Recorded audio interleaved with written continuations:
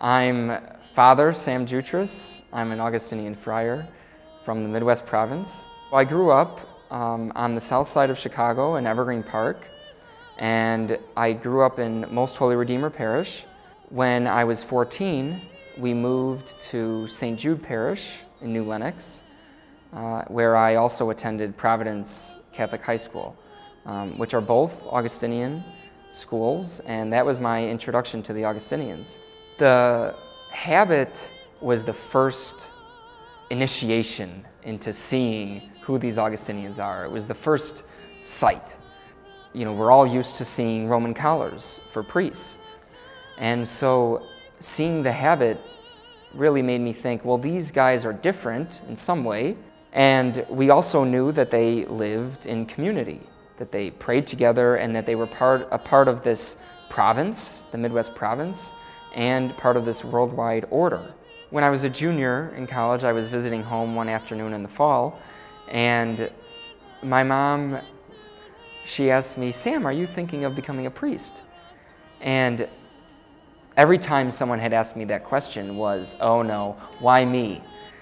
But I think through that maternal instinct um, and the grace of God, I began to think, well, why not me? Why, maybe this really is something um, that God is calling me to.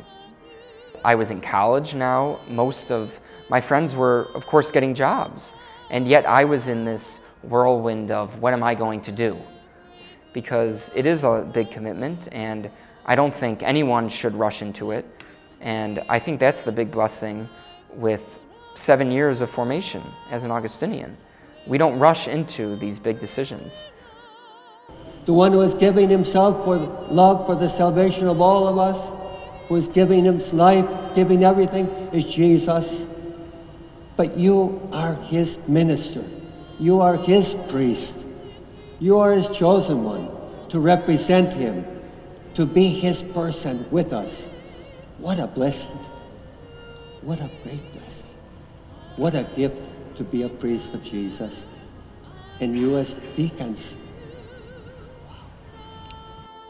The habit is a sign of the vows that we have professed and that we're clothed in the spirituality of St. Augustine, the gospel of Christ. It alerts others as to who I am, and it also alerts me as to who I'm called to be.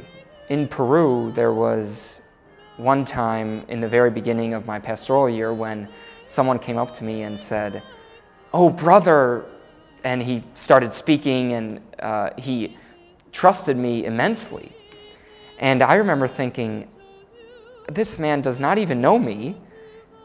Why is he like this? Why is he just sharing so much about himself? And then I realized that it was because I had the habit on. So I think in, in a very powerful way, the habit is a sign that people can trust. Um, an, an individual friar as representing something much larger than just himself. God is present to us in many ways, and in a very special, a very real way, He is present to us through the sacraments of the Church. And so, as a priest, I hope to radiate that confidence in God's blessing through the sacraments of the Church. Ask God now to shower down his blessings upon them in this ordination. Let us give a, a sign of thanks to these young men and God's work in them. Thanks be to God.